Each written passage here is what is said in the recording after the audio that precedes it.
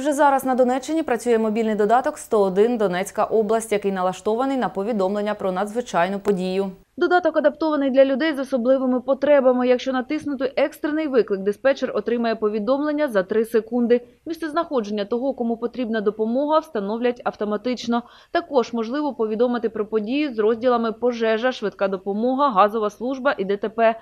Там можна коротко описати подію та додати фото. У розділі Абетка безпеки вказані інструкції про надання домедичної допомоги або що робити в разі надзвичайної ситуації. Завантажити додаток для телефонів можливо через Play Market та App Store.